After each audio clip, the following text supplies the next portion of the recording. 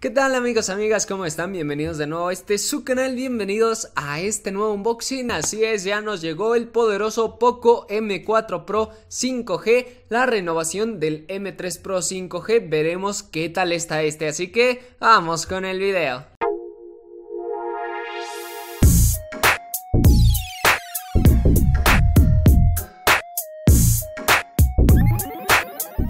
Amigos, por aquí ya tenemos un poquito destapado el paquete para que nos cueste menos trabajo sacarlo, pero recuerda aquí abajo en la descripción te dejo el link de compra a este Poco M4 Pro 5G que yo voy a estar vendiendo y también en la página de Doto que fue donde conseguí este dispositivo, entonces checa los links aquí abajo en la descripción. Este dispositivo es la versión de 6 GB de RAM y 128 de almacenamiento, pero bueno, vamos a ver que en la cajita nos incluyen por acá un adaptador, entonces vamos a dejar la cajita de lado y pues bueno, vamos con el desempaquetado de este producto. Ahora sí, chicos, aquí tenemos la cajita Poco M4 Pro, la cajita en color amarillo como siempre. De este lado Poco M4 Pro 5G, es decir que este dispositivo ya va a tener esa tecnología 5G, la cual ya llegó oficialmente a México con AT&T, aunque esperábamos que Telcel fuera la primera, pero bueno, vamos a probar qué tal está. Ya esta tecnología la puedes utilizar como te digo con AT&T, aunque ahorita todavía está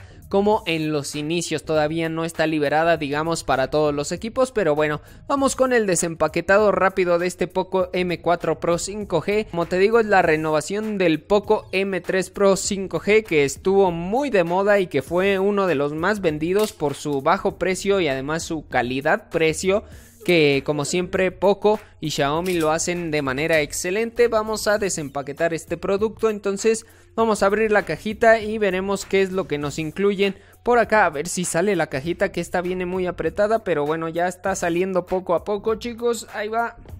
Ya se oscureció un poquito la toma, ahí ya está un poquito mejor, entonces destapamos y, bueno, de este lado como siempre nos incluyen el cartoncito donde nos dice poco, de este lado tenemos el pin para insertar nuestra nano SIM y tal vez micro SD. Dentro del cartoncito nos incluyen algunos stickers de poco, como ya es costumbre, los manuales, tarjetas de garantía, etcétera. Y tenemos por acá nuestra rigurosa funda TPU, como siempre nos incluyen los amigos de poco. En este caso tenemos de este lado el dispositivo con algunas de sus características, lo acerco para que lo vean. Tenemos un procesador de MediaTek un Dimensity 810, además como les digo tecnología 5G, tenemos 33 watts de carga rápida para los 5000 mAh de batería, además 90 Hz en la tasa de refresco. Y tenemos altavoces estéreo, aquí nos dice ya los probaremos y 50 megapíxeles para la cámara principal, 16 megapíxeles para la cámara frontal, pero bueno vamos a dejar de lado el dispositivo, ahorita lo abrimos, vamos a ver qué más nos incluyen de este lado y es que tenemos por acá nuestro USB que ya es tipo C, ahí lo tenemos y tenemos el cargador ya nos incluyen el de carga rápida de 33 watts, ahí lo pueden ver. Entonces, nada que reprocharle a los amigos de Poco. Vamos a dejar nuevamente esto por acá. Y bueno, vamos a quitarle por acá la protección al dispositivo. Lo acerco al micro para que ustedes lo escuchen mejor.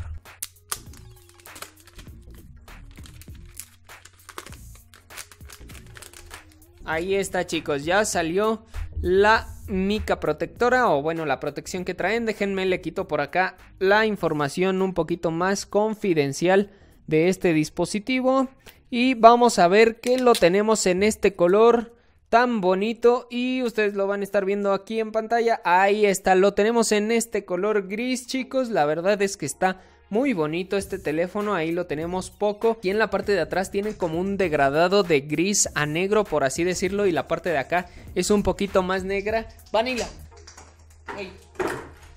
Ya. Quita. Y como pueden darse cuenta en la parte de arriba donde tenemos las cámaras tiene como otro rectangulito aquí un poquito más negro, un poquito continuista a lo que venía haciendo con el Poco M3 normal. Pero bueno, la verdad es que me ha sorprendido el diseño, lo presenté un poquito más feo, pero la verdad se ve bastante, bastante bien.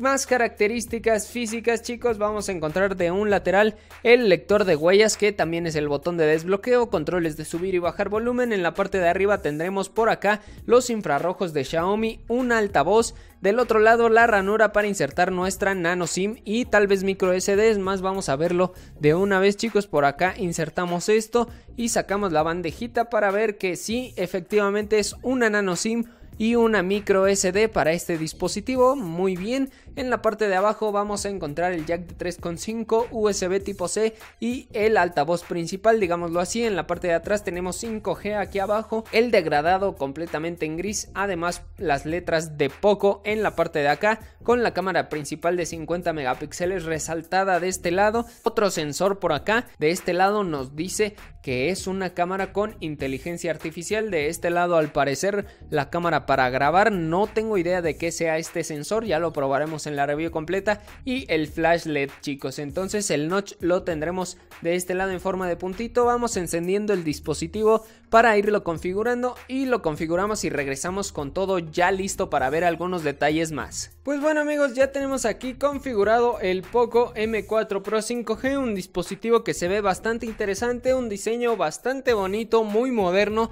Además con buenas características como les comentaba, es una diagonal de pantalla de 6,6 pulgadas, resolución Full HD Plus, además con tasa de refresco de 90 Hz, los cuales los puedes activar o desactivar desde acá, desde los ajustes de la pantalla, entonces aquí está tasa de refresco, puedes ponerlo a 60 o a 90 Hz, como siempre ya lo puse a 90, además tenemos la barra de notificaciones, centro de control de Xiaomi, el cual lo puedes ajustar a tu gusto, además como les decía tenemos altavoces estéreo, ya los estaremos probando a ver qué tal va, al igual que la cámara de 50 megapíxeles es la cámara principal, pero bueno, vamos a ver cositas más en la review completa de este dispositivo. Si tienen algunos juegos o algunos ajustes en específico que quieran probar en este Poco M4 Pro 5G, déjenlos aquí en los comentarios.